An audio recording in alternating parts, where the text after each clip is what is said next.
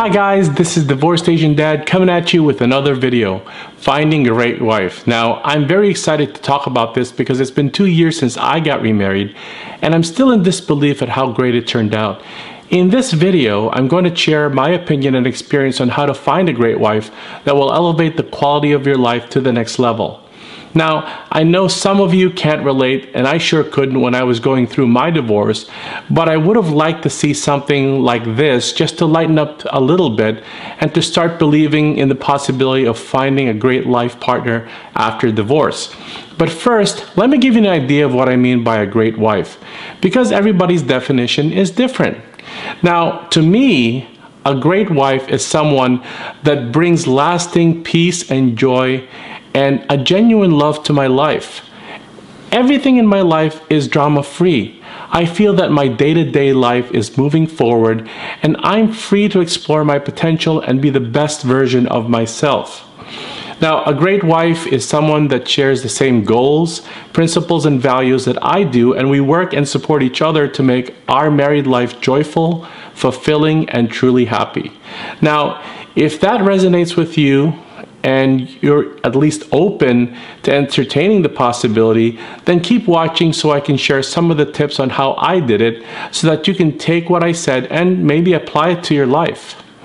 Now, don't forget to like and press subscribe, you know, below for new videos coming out every week and watch till the end of the, you know, end of the video for a bonus clip of my comedy set and I hope you know, it'll give you a little bit of a chuckle because, you know, everybody needs a chuckle or a laugh every now and then. So let's get to it.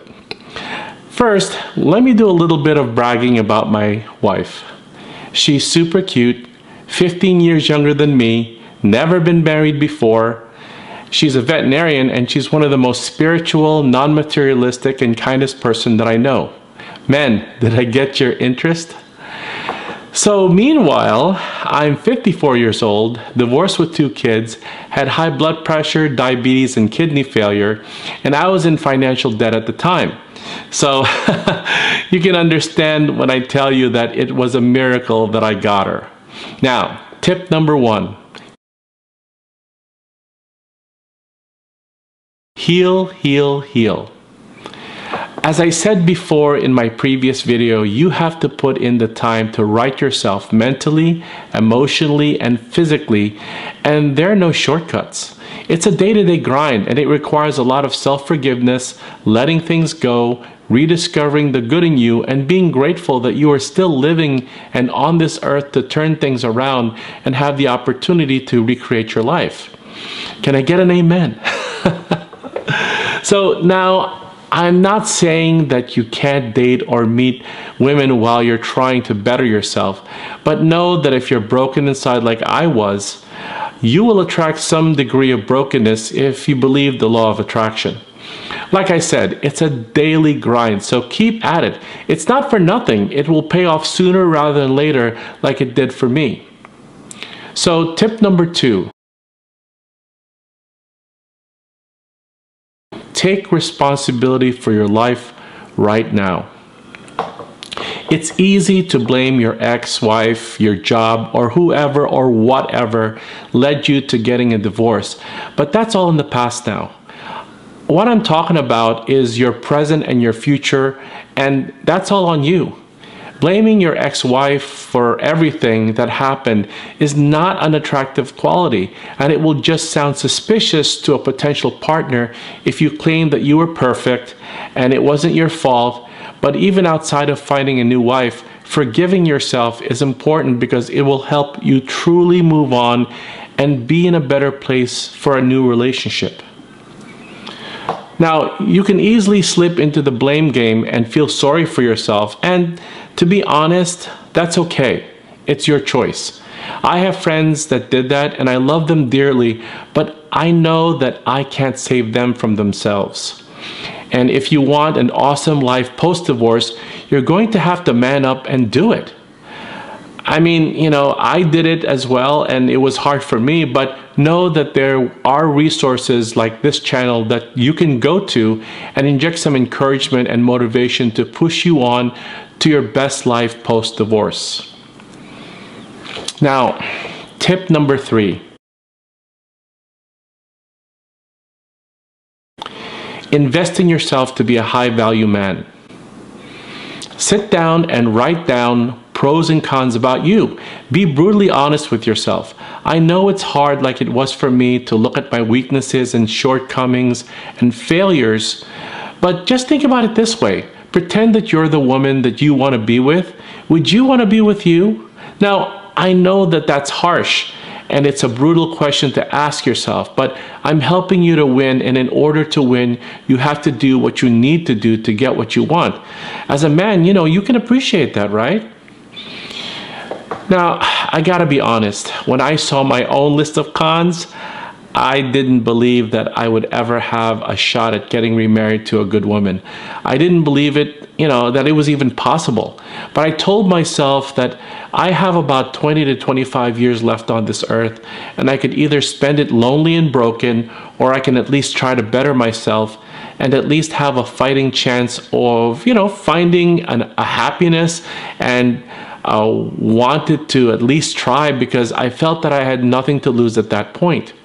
Now, once you've written down your pros and cons, take stock of what's good about you and really feel proud that you have good points and it's not totally bad. But take a long, hard look at your cons. First, ask yourself, are you honestly willing to change or at least work on it? If not, that's okay. You know, but if not, you know, get to work. These days, there's a lot of resources that you can tap into to improve whatever you feel you need to improve. For instance, if you think you're unappealing to, the, to women, there's a billion ways you can do to improve your situation. I mean, take me for example. This face is not going to attract anyone. Strike one. Plus, I wasn't well off financially. Strike two. And I'm Asian, which is well known not to be good with the ladies. Strike three. But I'm smart, thank God for that at least. So I created what I call the boyfriend package. What I mean uh, by that is if you're a salesman trying to sell an unappealing product, me, and you need some more, you know, benefits and features to convince the prospective buyer, you know, good women, that you're worth it, well, remember, what I'm talking about is taking responsibility to improve yourself and to improve the value uh, as a man, you know, to women that you want to attract. Now, I asked you to write down your pros. Well, your pro list should specifically include just your, not just your personality strengths, but you know, like kindness and generosity and being upbeat, but it should also include skill sets like being a good provider, having good communication skills, or being good at playing an instrument. Well, I had none of those, so I had to think of other things. You know, I took stock of what, who I was or what I was. So for me personally, I was loyal, which is easy because women weren't breaking down my door to get to me, and I was easy to get along with. With uh, you know, since after going through a horrible divorce, all I cared about was having a long-lasting peace in my life. Everything else was unimportant. I have a good sense of humor, which is why I'm a stand up comedian, but you know, my one superpower is that I can give devastatingly good massages. So good that once you go dead, you will never be sad. I mean, I learned to uh, massage because I saw that 99% of men are unwilling or unable to give women a good massage. And guys, they love it. When you massage a woman, it releases feel good chemicals in her body as well as relieve stress and pain, and she will feel good. Most importantly, she will connect those good feelings to you. Now, I'm not saying to go out and learn to massage, even though that might be a good skill set for you to learn, you know, as part of your boyfriend package, but uh, think of what special skills that you have or that you could develop to increase your value as a man, you know, as a attractive, high value man. So I hope this has helped you and at least give you a good laugh. In case you want a few more laughs, here's a clip of my comedy set, as I promised, to lighten up your day. You know, drugs in prison are easier to get than drugs on the outside. Yeah? So one time this inmate came up to me and said, hey, you want to buy some drugs? And I said, I don't know. How much does it cost? I'm not admitting to anything. he said, $200. And I said, $200? What is it, made of gold? No, man, shipping and handling. you know, tattoos are different too. Uh, they tell you, like, you know, in the big house, they tell you, like, what gang affiliation they're in and also, like, what prisons they've been to. But where is the tattoo that says, I make fucked up decisions? you know, women in prison do get pregnant in prison. See, they do it by going out on work detail to clean up the local streets, and their boyfriends are waiting out there in the bushes for them. now, picture this the boyfriend has to finish in under 30 seconds. There's cars whizzing past them. And there's a prison officer with a shotgun waiting to shoot them or arrest them if they get caught. And they still do it. Man, that's my definition of horny. horny, horny, horny. Uber horny. How you doing, horny? yeah, but you know, eventually I had to give up the prison game. I got anxiety attacks every time I saw a bar of soap.